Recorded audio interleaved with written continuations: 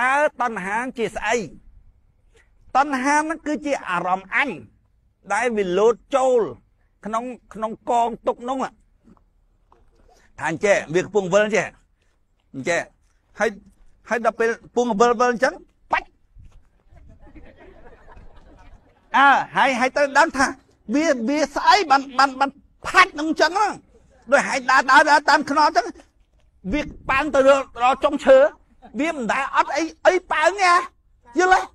មិនដែលអត់អីប៉ើងមិនយល់ទេអារម្មណ៍អញលោតចូលផាច់មកភ្លាមយល់ទេអញ្ចឹងហើយត្រូវយល់ក្នុងអារម្មណ៍ឯងគឺថាអារម្មណ៍អញលោតចូលផាច់អញ្ចឹងភ្លាម